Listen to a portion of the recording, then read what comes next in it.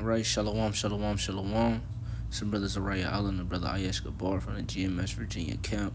Back with another lesson through the spirit and power of Yahweh Shem Shai. As commanded to do so.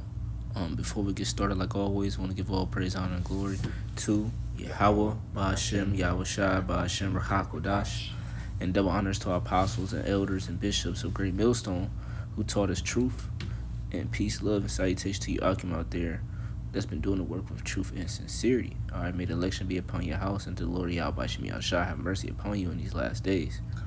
All right, um, the topic of this lesson is uh, worth work ethic uh takes away fear.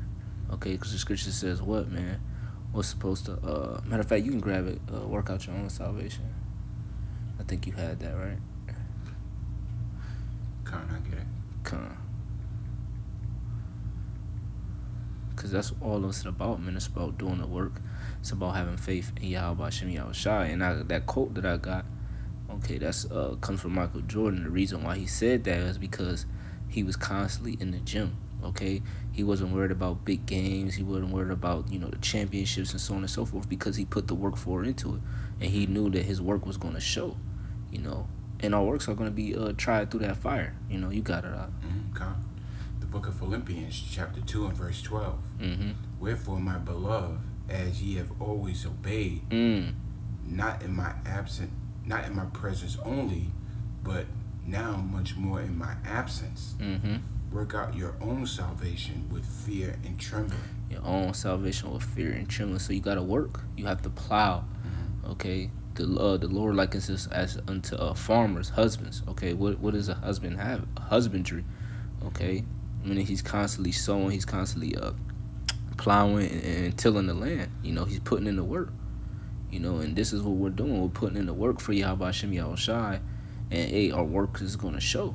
You know, but I just got this uh precept, um, Second Esdras chapter sixteen, and verse seventy. It says, "For there shall be in every place in the next cities a great insurrection upon those that fear the Lord. They shall be like madmen, sparing none, but still spoiling and destroying those that fear the Lord. For they shall waste and take away their goods and cast them out of their houses. Then shall they be known who are my chosen, mm-hmm. and they shall be tried as gold is in the fire. Yeah, we're gonna be tried. Okay, all the works that we're doing, hey, it's gonna be tried, man. Mm-hmm. Okay, Esau is coming for us, man. He's coming down with great wrath. So, hey, we ain't got time to be fearing, man. The only thing that we need to fear is Yahweh Shem Shai, man. Anything else outside of that, hey, man, we got to take it head on and just do the work. Cause our work, hey, you put in the work. There's no like like Michael Jordan said. You you you put in the work. There's no reason to be afraid of big games. You should be confident in your work ethic, man. So we confident in our work ethic, but we're also first and foremost confident in Yahweh Shem Shai because He's given us a spirit to do the work. You got it out. If you got it I Shah. The book of John, chapter 10 and verse 27. My sheep hear my voice, Mm, and I know them, and they follow me. mm-hmm. And I gave unto them eternal life, and they Mm, shall never perish, mm, neither shall any man pluck them out of my hand. You know what I'm saying? Because we were given orders to do this work. We were commanded to do this work. You know what I'm saying? Because because at the end of the day, you know, who are we to go against Yahweh Shem Yahweh Shai? You know what I'm saying? Because he said, um, fear not him that can kill the body, but fear him that can kill the body and soul and hell. You know, so we fear Yahweh Shem Yahweh Shai with a healthy fear. So, you know, like I was saying, I mean, we have to do this work. You know, come hell or high, wa- hell or high water. con, We are very much aware of what we're into, and if you don't know what you're into, you you really need, you know, to sit back and analyze yourself and analyze what you've gotten yourself into. con. I got a quick precept just to back you up. This is Luke chapter 2 and verse 49. I'll go straight to the point. Con. It says, And he said unto them, How is it that ye sought me? Because, you know, you had uh, Yahweh Shai's uh, parents, you know, looking for him, Mm. you know, when he first started teaching. And he said, Wish ye not that I must be about my father's business? You know, so hey, this what we about. We're about our father's business. We're about Mm. doing the work and putting hey, we plowing, man. You know, that's all it's about plowing. As long as you do the work, hey man, and, and be sincere about it, man. That's that's what the whole point is. This walk is for, man, to do the work. Okay. You know, sometimes it's good to pray to the Lord that Lord keep me healthy and keep me in the right uh, state of mind just to do your work, man. You know, cause every everything that's extra outside of doing the Lord Yahweh Shemiashah's work is either folly, okay, or shit that's in, indulging in the flesh, man. If it doesn't have to do with the Lord, hey, man, that shit is vain as hell, you know. But you Mm-hmm. gotta have a balance, you know. But you got it out. Yeah, Khan, you know what I'm saying? You have to actually stay diligent in this truth, you know? You know, like it says in the book of Luke, chapter 21, verse 19, in your patience possess ye your souls, Mm-hmm. you know? We ain't supposed to, you know, to take our hands off the plow because Mhm. we fear what the enemy may do, Come. you know? We ain't supposed to not be diligent in this truth. As a matter of fact, I got a precept in that. Come. Um, Yeah, because we girding ourselves up, and, and, and it's true, building ourselves up in, in the faith, man. So when these evil days do come, it's going to show that we did put the work in, that we weren't bullshitting and and, and being lousy and then lazy and a, a um unprofitable servant. mhm. You know.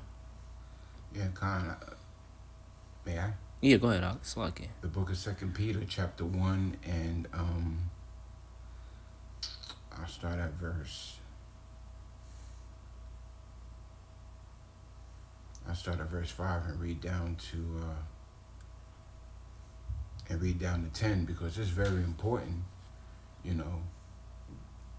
The book of Second Peter, chapter one, and verse five, and besides this, giving all diligence added to your faith virtue, and to virtue knowledge, and to knowledge temperance, temperance, and and to temperance patience, and to patience godliness.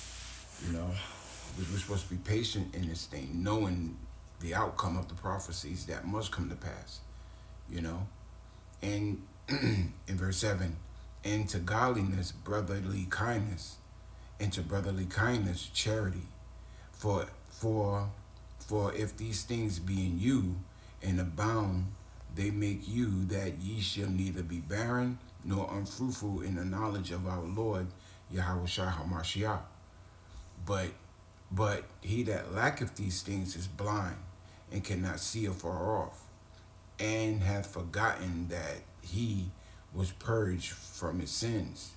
Wherefore, rather, brethren, give diligence to make your calling and election sure. Mm, If ye do these things, ye shall never fail. shall never fail. You got it, bro. No, no, you go into it. I just Yeah, to. you know, I mean, hey, as long as you follow Yahweh Shem Yahushai, you're not gonna fail. You know what I'm saying? The Lord said, you know, to love thy brother. You Mm-hmm. know, because at the end of the day, all it boils down to is the work of Yahweh Shem Yahushai. Mm-hmm. You know, it's not about our own work, um, you know, our own vain opinions. You know, Exactly. It's about bringing forth the word and, and the name of Yahweh Wa Yahweh Shai. Come. You know what I'm saying? It's because this is His glory. You know, the world's gonna see the glory or a part of the glory of Yahweh Shai through us, and we're gonna see the glory of Yahweh through Yahweh Shai.